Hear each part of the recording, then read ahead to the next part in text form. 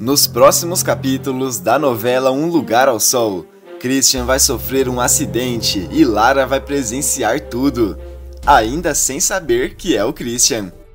No hospital, Lara pedirá para ver o paciente e vai ficar em choque quando perceber que é o amor de sua vida.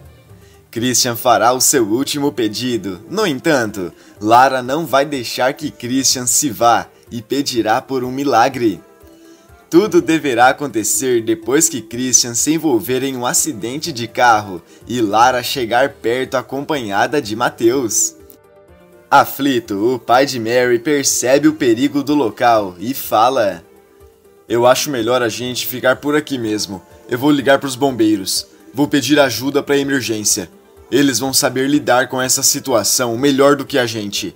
Lara comenta: Está bem, Enquanto você chama a emergência, eu vou até lá ver se tem alguém precisando de ajuda.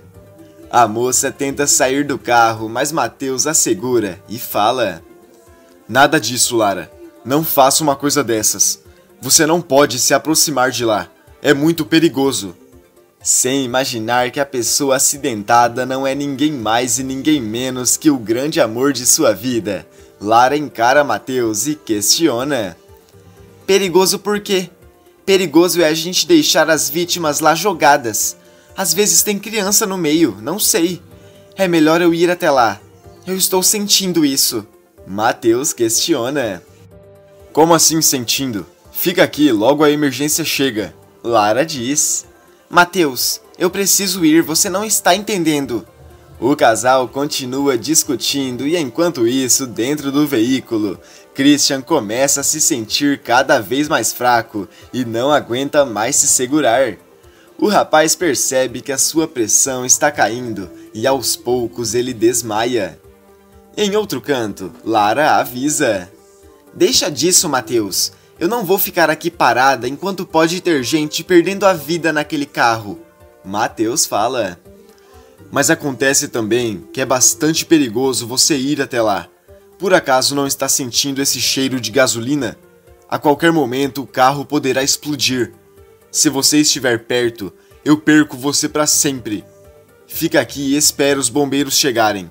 Não tem nada que a gente possa fazer. Nada. Lara pensa um pouco e avisa. É aí que você se engana. Se o carro pode explodir a qualquer momento, então a gente tem que tirar quem estiver de dentro dele. Mateus segura a moça novamente e fala: Escuta aqui, Lara. Eu não vou deixar você fazer isso. Além do mais, eu já estou ligando para os bombeiros agora mesmo. Antes de continuar, se possível, clica no botão de gostei e inscreva-se no canal. Assim o YouTube te avisa quando sair um vídeo novo de Um Lugar ao Sol. Aproveita e me conta que nota de 0 a 10 essa novela merece. Deixe seu voto nos comentários e escreva de que cidade você assiste a novela. Na continuação, Lara encara Mateus no fundo dos olhos, pensa em enfrentar o seu marido e correr o mais rápido que pode para salvar quem estiver dentro do carro. Mas o que a neta de Noca não imagina é que ela perderá o chão quando ficar cara a cara com a vítima do acidente. Enquanto isso, no Rio de Janeiro, Ravi sente uma dor muito forte em seu peito e começa a passar mal. Joy percebe que tem alguma coisa estranha acontecendo e pergunta: Ravi, está tudo bem? Você está com dor em algum lugar? O rapaz dispara a chorar e, com a respiração ofegante, ele fala: Joy, o Renato, Joy. A mulher questiona: Renato? O seu patrão? O que está acontecendo? Ele te ligou? Ele quer que você trabalhe agora, é isso? Ravi responde: Não, não é nada disso. Aconteceu alguma coisa com ele. Alguma coisa muito grave. Eu posso sentir. Joy acha estranho e pergunta: Que papo é esse agora, hein? Desde quando você tem esse tipo de premonição com o seu patrão? Essa relação de vocês é mais bizarra do que eu pensava. Ravi continua passando mal e sem pensar duas vezes, ele pega o telefone e liga desesperado para Christian. Todas as chamadas caem na caixa postal e o rapaz deixa um recado. Chris, fala pra mim que você está vivo, por favor. Eu aguardo por notícias suas. Me ligue assim que escutar essa mensagem. Não se esqueça, é urgente. Ravi desliga o telefone e fica mais preocupado do que já estava. Enquanto isso, no local do acidente, Mateus avisa. Os bombeiros devem estar chegando a qualquer momento. Aflita, Lara fala. Eles já deviam ter chegado há muito tempo. Eu não vou mais ficar aqui. Eu não posso ficar parada, Mateus. E se esses bombeiros demorarem para aparecer? O que a gente faz? Mateus também tenta segurar a sua ansiedade e diz: A essas horas eles já devem estar chegando. Faz um tempinho já que eu liguei. Vamos esperar só mais um pouco. O cheiro está muito forte. Daqui a pouco isso tudo aqui poderá virar uma fogueira enorme. Mais nervosa ainda, Lara questiona. E a gente vai ficar aqui parado sem fazer nada, sabendo que a qualquer momento isso daqui vai virar uma fogueira? Mateus pergunta. Mas o que você quer que eu faça, Lara? A mulher responde: Nada. Você vai ficar aí parado, mas eu não consigo. Desesperada, Lara sai correndo em direção ao carro capotado. Mateus também se desespera e grita: Lara, espera! Não vai até aí! É perigoso demais! A moça continua correndo e fica bem próxima de chegar ao carro, sem imaginar que é Christian quem está dentro dele. De repente, Mateus escuta o barulho de uma sirene se aproximando e grita: Lara, o socorro já está chegando! Se afasta daí! Lara continua se aproximando ainda mais do carro e fica bem próxima de ficar cara a cara com o amor de sua vida. De repente, diversos bombeiros aparecem e afastam Lara do carro. A moça sente uma emoção muito forte com o resgate e questiona consigo mesma: Mas o que está acontecendo aqui? Quem será que estava dentro daquele carro? Lara volta correndo para o encontro de seu marido Mateus dá um abraço nela e fala: Lara, eu entendo a sua vontade de ajudar todo mundo, mas você precisa pensar que às vezes isso pode ser bastante perigoso.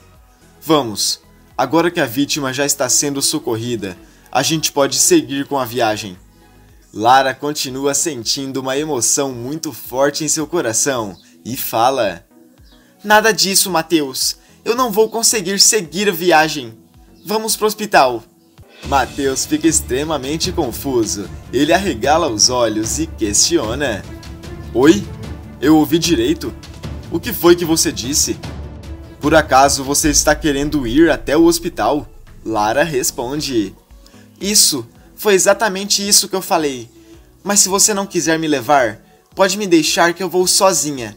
Mateus respira fundo e questiona: Lara, o que está acontecendo? Por que você quer ir até o hospital? Os bombeiros já estão socorrendo as pessoas. Vamos seguir viagem e deixar a equipe de resgate fazer o trabalho deles. A neta de Noca pensa se deve ou não fazer o que o seu marido está mandando. Poucos segundos se passam e ela fala: Mateus, eu sei que isso pode parecer estranho, mas eu tenho que ir para o hospital. O meu coração está mandando eu ir até lá. Entende isso? Mateus quase perde a paciência e grita: Você quer ir até lá fazer o quê? Lara responde: Não sei, como eu havia dito, eu não sei explicar. Eu só sei que eu preciso ir até lá. Mateus tenta segurar a sua raiva e fala: Está bem, mas eu te digo, para de sofrer à toa por uma história que nem é sua. A gente vai até o hospital, perguntamos sobre a vítima e voltamos o mais rápido possível. Pode ser?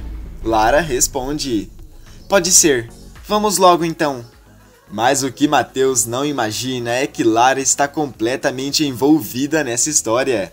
Em instantes, a neta de Noca poderá ficar cara a cara com o Christian e descobrirá toda a farsa que ele armou. Enquanto isso, Lara e Mateus se dirigem com pressa para o hospital. Christian começa a receber atendimento. Completamente fraco e quase sem consciência, o rapaz usa toda a força que tem e cochicha. Lara, onde é que está a Lara? Eu preciso ver a Lara. Os paramédicos nem dão importância para as coisas que o paciente fala e continuam fazendo todo o possível para salvar a vida dele. Enquanto isso, dentro de Pouso Feliz, uma enorme preocupação invade o carro de Noca. Sem saber o que fazer, a mulher anda de um lado para o outro e questiona consigo mesma. Mas o que será que está acontecendo? Por que essa preocupação do nada agora? Ainda abismada, a avó de Lara decide tirar as cartas para entender melhor o que pode estar acontecendo. Ela coloca o tarô em cima da mesa e, após alguns minutos interpretando, ela sente um arrepio muito forte e fala: Não, isso não pode ser verdade. De acordo com esse jogo, a Lara está correndo um perigo enorme. O destino está trazendo de volta para ela algo que foi perdido mas não esquecido. Noca continua pensando e comenta: Coitada da minha neta, espero que ela tenha forças para enfrentar o que está vindo pela frente. No hospital, Lara chega acompanhada de Mateus e vai direto até a recepção. Com a respiração ofegante, ela explica que está atrás de um paciente que sofreu um acidente e a recepcionista sai para verificar. Aflita, ela anda de um lado para o outro e comenta: Eu só espero que não tenha acontecido nada de grave. Eu espero do fundo do meu coração que ele esteja bem. Mateus fica incomodado e comenta: Lara, eu sei que você está bastante preocupada, e tudo bem estar, mas você não acha que pode estar exagerando um pouco? Você nem conhecia a pessoa que estava envolvida nesse acidente, mas você está preocupada de um jeito como se parecesse que você conhece a vítima há tempos. Lara respira fundo e fala: Eu não acredito que eu estou ouvindo uma coisa dessas. Mateus a encara e diz: Olha para você, a última vez que eu te vi assim foi quando conversamos sobre o seu ex. Lara o interrompe na mesma hora e fala: Chega, Mateus. Eu sei que eu nunca vou conseguir te explicar o que eu estou sentindo nesse momento mas alguma coisa dentro de mim está mandando eu vir até aqui. Respeita isso. Algumas horas se passam e de repente, um médico aparece e se aproxima do casal. O doutor pergunta: São vocês que estão querendo informações sobre o paciente que chegou aqui acidentado, não é? Vocês sabem o nome dele? Lara responde: Não, nós não sabemos de nada. Mas como é que ele está? Ele sobreviveu? O doutor respira fundo e fala: Infelizmente, a situação dele é bem crítica. Ele chegou aqui completamente machucado, entende? Nós fizemos tudo o que estava ao nosso alcance, mas a única coisa que podemos fazer agora é esperar. As próximas horas serão decisivas. Sendo bem sincero, eu acho que se ele sobreviver a essa noite, será um grande milagre. Lara fica com os olhos cheios de lágrimas e pergunta: Doutor, eu sei que isso pode parecer um pouco estranho, mas será que eu posso entrar para fazer uma visita para ele? Mateus comenta. Doutor, a minha esposa cismou que algo muito forte dentro dela está mandando fazer isso. O médico pensa um pouco e fala: Normalmente eu não posso deixar, mas nesse caso, nenhum familiar apareceu até agora. Então eu autorizo você a entrar para fazer uma visita rápida, mas bem rápido e só você. Lara olha para Mateus e avisa: Eu já volto, tá? Sem imaginar o que está aguardando pela frente, Lara respira fundo e começa a caminhar até o local em que Christian está internado. Poucos instantes se passam e a moça entra sozinha no quarto. Ela vê Christian deitado em uma maca e imediatamente começa a tremer. Mais desesperada ainda, ela fala: não, isso não pode estar acontecendo. Deve ser um pesadelo. Eu devo estar alucinando. Essa é a única explicação para isso. A moça se aproxima ainda mais do rapaz, passa as mãos nele e pergunta: Christian, é você, meu amor? É você? De repente, o rapaz abre os olhos, pega toda a força que tem e fala: Me desculpa, Lara. Por favor, me desculpa. O rapaz fecha os olhos outra vez e novamente Lara dispara a chorar e fala: Não pode ser. Tudo menos isso. O que você estava fazendo vindo pra cá, Christian? Você estava vivo esse tempo todo. Mas como foi que isso aconteceu? Onde é que você estava esse tempo todo? O que foi que aconteceu com você? A cada segundo que passa, Lara vai ficando cada vez mais fora de si. Ainda desacreditada, ela tenta acordar o rapaz quando de repente o médico aparece e avisa que o horário de visita dela acabou. Lara implora para ficar mais um pouco e avisa: Eu conheço ele. Ele é o meu namorado, esse homem. Por favor, doutor, tem alguma coisa muito errada acontecendo aqui e eu tenho que descobrir o que é. O médico avisa: O paciente precisa descansar. Só assim para ele aguentar essa noite. Eu espero que você entenda. Volte aqui amanhã de manhã. Eu vou estar de plantão ainda e eu deixo você entrar. Lara continua em choque com tudo que acabou de acontecer e decide manter segredo que a pessoa deitada ali é o Christian. Ainda aflita, ela se encontra com Mateus e fala: Não me faça nenhuma pergunta. Só me leve para casa, por favor. É só isso que eu te peço. Mateus obedece a sua esposa e a leva embora. A noite inteira se passa e Lara não consegue pregar os olhos.